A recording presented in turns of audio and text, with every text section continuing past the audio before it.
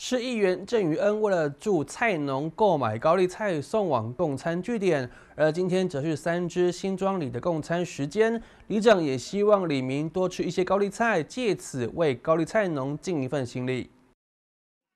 近来高丽菜价下跌，为了帮助菜农，不少团体认购协助。市议员郑宇恩更是买高丽菜送往服务区内的供餐据点。今天是三资新庄里的供餐时间，可以见到职工妈妈们换上标准的服装，切菜拌料，制作水饺馅料，准备要来变换菜色包水饺，也为帮助高丽菜农尽一份心力。诶，因为咱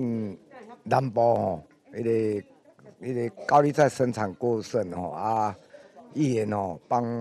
忙促销，啊啊来包这个水饺，啊有只阿阿嬷吼啊真济拢来来倒包，啊包的速度嘛真真紧吼，啊包了个袂歹安尼吼，啊你啊你希望讲咱的诶乡亲啊备菜跟加南部到销就要备菜吼，啊增加咱的农民的收入。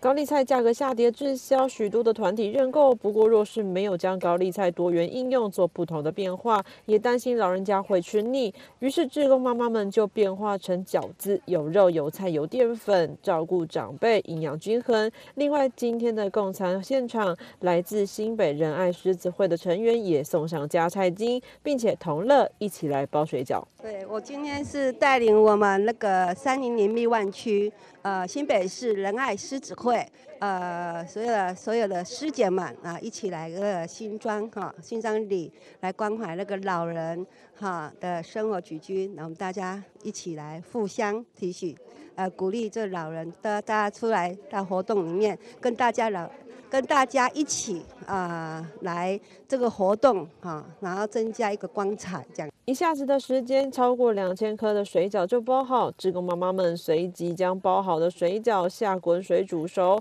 在今天的共餐活动中，除了充满一起包饺子的趣味，还有满满的爱心。里长也期待大家一起来帮助菜农多吃高丽菜，让菜农可以度过这一个菜量过剩的寒冬。记者廖平涵三支采访报道。